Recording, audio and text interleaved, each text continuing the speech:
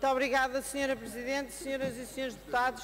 Mais do que um pedido de esclarecimento, eu gostava de, o meu grupo parlamentar gostava de dirigir à bancada do Partido Comunista dizendo que acompanhamos as preocupações que aqui trouxemos relativamente à situação atual do Serviço Nacional de Saúde.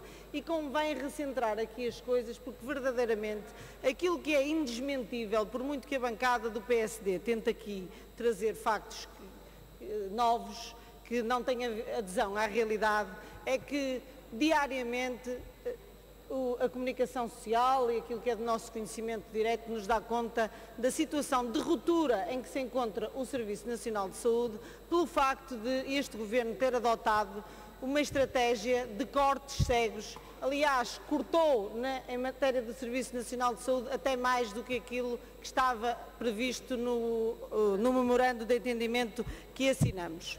E é, isto revela-se nas mais variadas áreas, como a senhora deputada aqui uh, trouxe, mas eu queria, uh, não poderia naturalmente deixar de me referir àquilo que aqui foi tocado agora mesmo pela senhora deputada Conceição Bessa Ruão, dizendo, senhora deputada, nós não queremos fazer política a partir de casos concretos mas é incontornável que nós tentemos resolver situações quando daí resultam a perda de vidas. E aquilo que acontece é que as VMER, não só a de Évora como outras já aconteceu, estão operacionais porque o Ministério se recusa a compensar os médicos que estão nos hospitais e que devem integrar as equipas. Como muito bem sabe, não é uma falha do INEM, é uma falha dos hospitais. E o que o Sr. Secretário de Estado ontem veio tentar fazer é indigno, porque veio tentar transferir para os, os administradores hospitalares e para os diretores clínicos a responsabilidade daquilo que o Governo não consegue resolver. Quem tem de resolver isso é o Ministério da Saúde, não são os responsáveis hospitalares. E isso nós também eh, lamentamos.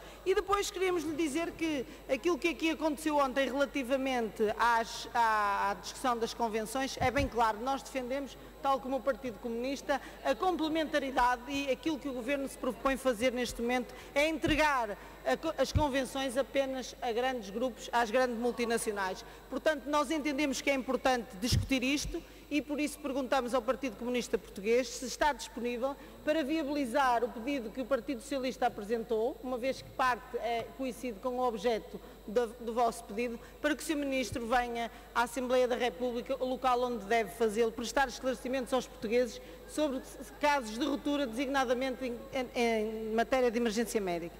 Muito.